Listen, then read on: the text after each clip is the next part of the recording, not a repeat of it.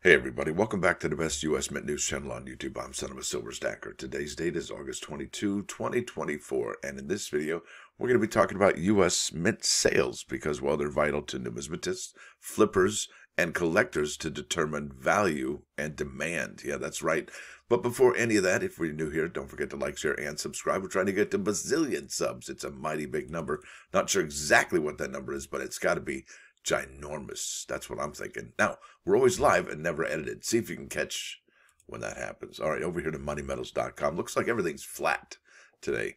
Gold down $5.90 to 25.16.65. Silver down 7 pennies to 29.72. Platinum down 7.30 to 9.73 even Steven.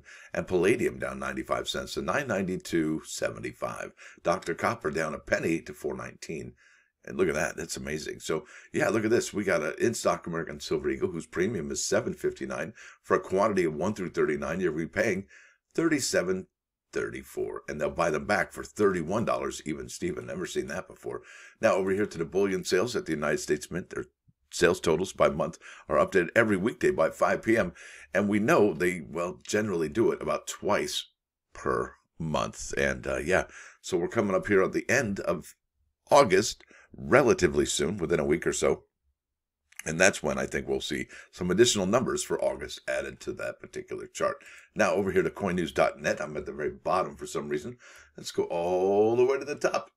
Yeah, some interesting things at this particular article. Um, title of this article is U.S. Mint Sales 2024. San Francisco Proof Silver Eagle bounces to 156,803. And that is kind of a, a, a big deal. Um, and there's some other big deals going on here too, but I think they're, well, it's just that foam on a root beer float, right? And then it settles and then you get the real number, right? I think that's where we're at right here with this particular report. Uh, this is by Mike Unser, dated August 21st, 2024. That's just yesterday. And it is from coinnews.net. Now it's got here on the picture a 2024 San Francisco minted American Silver Eagle. That's the proof version. And it looks like it's got that deep cameo action. It's beautiful. Absolutely stunning. It says last week's lack, all right, last week's lack of new releases from the United States Mint shifted collectors' focus to more recent offerings like the 2024 San Francisco Proof American Silver Eagle which led the mint sales for a second consecutive week. And you got to see these sales; they're kind of remarkable. But like I said, I I think it's going to be like the uh, foam on a root beer float. You know, you got all that action, and then all of a sudden, after everything settles, you got like a half inch of root beer. Yeah, you know what I'm talking about.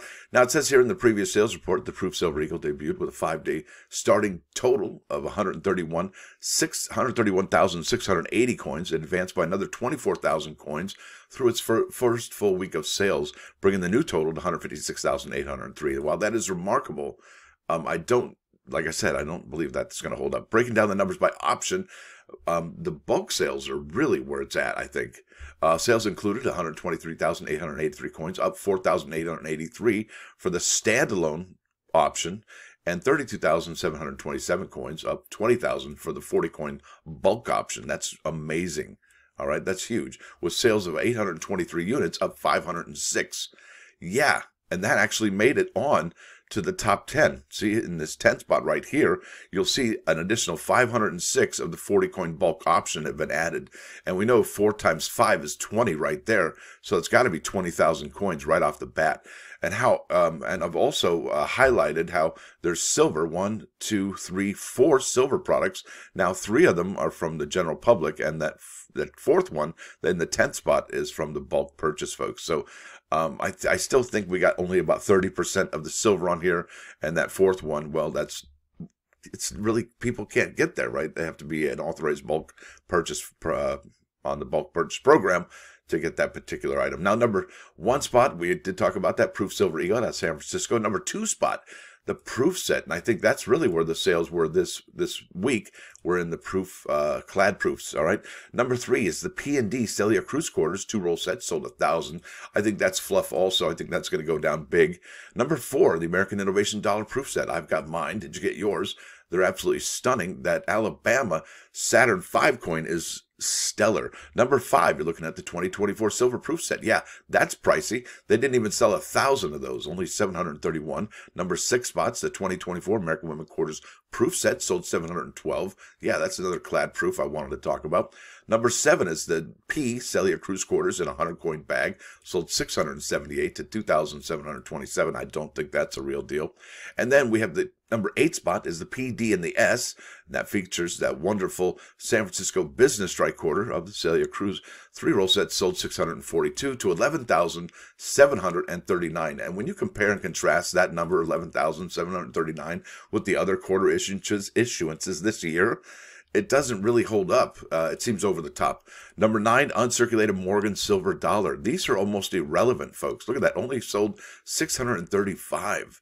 That's the number nine spot. So with the amount that the United States Mint allocated for their product uh, totals, these are going to be around for a couple years, these uncirculated Morgan and Peace dollars.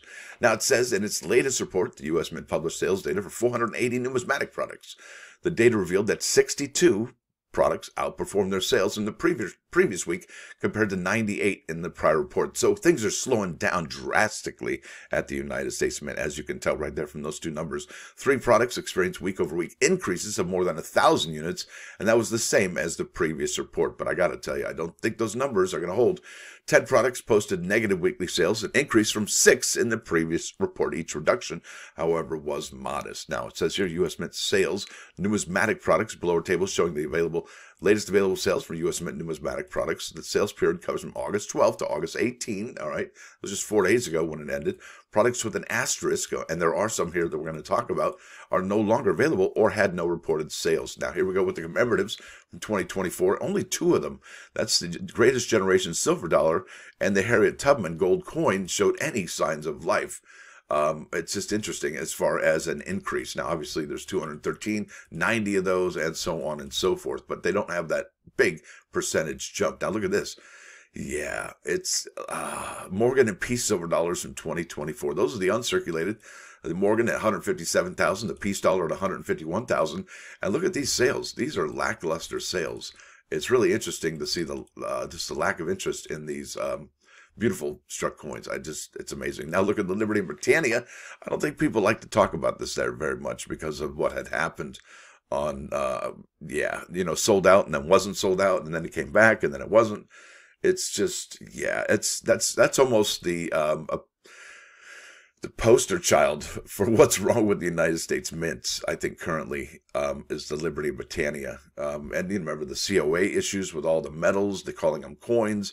Is that a Freudian slip where they really want to make them coins, just like we want them to make coins? But they, you know, they have to get legislative action to get that to happen.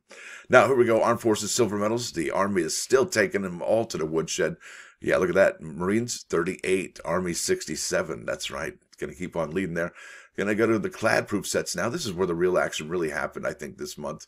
Uh, the 2024 clad proof set sold 2,347, almost a 1% increase. But look at this. The 2022 proof set has that asterisk, lost 15 almost at 400,000 even Steven. Wouldn't that be something if it lost 16, bringing us to 400,000 even Steven? I've never seen that before.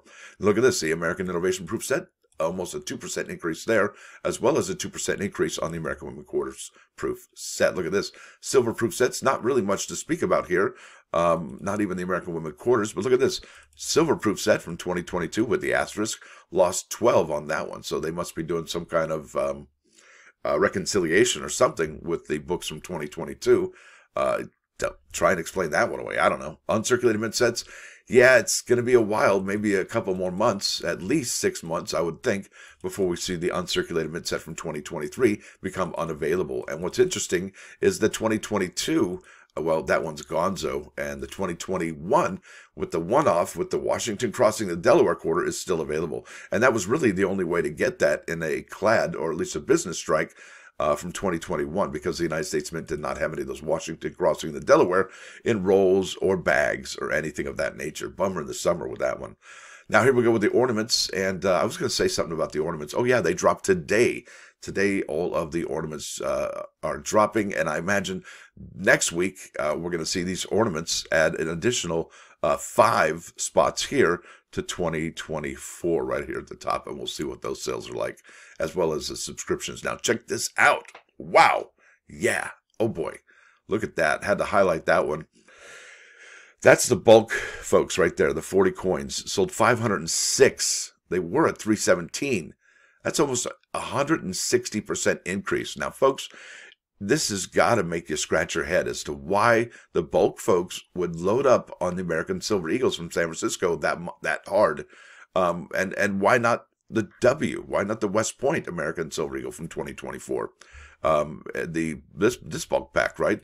Are there are there no, no longer uh, any more available? Is that what the deal is? Um, it's just it just begs the question. You know, it really makes you wonder uh, how many are left ultimately, and and why is it? it? Is the United States Mint not selling enough of the bullion American Silver Eagles, so the bulk dealers have to go this route to sell them? I I don't know, but that is a remarkable number. I've never seen that before. Uh, in all the times we've been relaying this data to you. So that's something to keep an eye out for. Um, also, look at this proof American Silver Eagles from 2024. We haven't even reached 275,000 on those folks. Yeah, look at this. Remember this? 2023, 436,000. Yeah. Look at this. 2022, almost 500,000. We're not even at 275, folks. That's remarkable. Look at this two coin reverse proof set. Or no, yeah, the two coin uh, Silver Eagle reverse proof set, yeah, lost one. Isn't that something? Uncirculated Silver Eagles, they sold 447. We now stand at 90,512. That's a really low number, also. Did you get yours? Now, here we get to the gold coins, and we have seen gold. Well, it's very popular, and it has been very popular for months now. We report on gold sales every single week, and each and every single week, we have seen an, an, just about an increase in each single category for these American uh, Gold Eagles. It's just remarkable uh, this, the, the pace at which these are selling and the interest that they conti- continually have. That's remarkable. Uh, even the Buffalo uh, has an increase, almost 3% there. That's remarkable. Now, what's not remarkable is the sales for, well, I'll show you here that in a second, for the uh, Native American dollar and the Kennedy half dollar. Now, these are the Missouri Innovation dollars. Look at that. That features uh, George Washington Carver. The 100 coin bag out of Denver sold 17. That's a 1% increase. And we have a, uh, well, three quarter percent increase there for the 100 coin bag out of Philadelphia. So pretty solid numbers. Look at this though. Somebody, two people actually scored the 25 coin roll set from Denver. And so I guess maybe another person or the same person scored the 100 coin bag out of Denver for that rocket coin, that Saturn 4 at 5. That's amazing. Beautiful, beautiful coin. Uh, and I love it in a proof. I can't wait to see that in a reverse proof. Uh, so yeah, pretty decent sales for Illinois as well. Um, and let's keep on keeping on. Let's go to Tennessee. Lost two of those, and I believe that was the Tennessee Valley Authority, the uh, electrical uh, grid that they have there. Lost two, and let's keep on keeping on. Uh, New York, Virginia, New Hampshire, South Carolina, Maryland, Massachusetts, Connecticut, Georgia, New Jersey, Pennsylvania, Delaware, and that's the inaugural. And there we go. Look at this Native American, not even a blip. Look at that, just lackluster sales for the Native American dollar rolls, as well as the Kennedy half dollars, which begs the question is that it? Are there no longer any more 200 coin bag from Philadelphia available? I don't know. Makes you wonder. But look at this now. Here we uh, find ourselves at the end of the show, near the end of the show, and we're looking at the Celia Cruz quarters from 2024. And look at those numbers. That is remarkable. But look at this. We have 11,007. Compare that to the other ones that have been already on sale for months. Look at that 12,000, 11,001, 10,004. So I think we're definitely over, way over. Look at this one. Almost 3,000 here for the 100 coin bag from Philly. 1,200 here for Mary Edwards Walker. 1,500 here and 1,800 there for Dr. Reverend Dr. Pauli Murray. So I think they're going to revise these numbers downward uh, by a lot. Look at this 4,000 for the two roll set. I don't think so. Look at this 25, 27, 29, 35. Yeah, I don't think so. Not at all. yeah, that's about it. Let's go to those plus ones. Bam! This is Proverb 23, 17, and 18. Let your heart not envy sinners, rather those who revere the Lord all the day, for it shall endure, and your hope shall not be cut off. And what I think that means is that we should envy the person who truly fears the Lord, learn from them, and emulate their deeds, maybe even their behaviors, right? Because only this is lasting. Wealth and sinful pleasure are but momentary. Now let's go over here to 99.9 KOI and Coin News Radio. This is Santana Brothers. And I don't even know what song it was. It could have been um, Latino Blues. I'm not sure. Uh, Blues Latino. Yep, there it is. I yeah, who knew? anyway, it's a really great album. Hope you dig it as much as I do. Been a great video. Thanks for hanging out this long. Stacker out.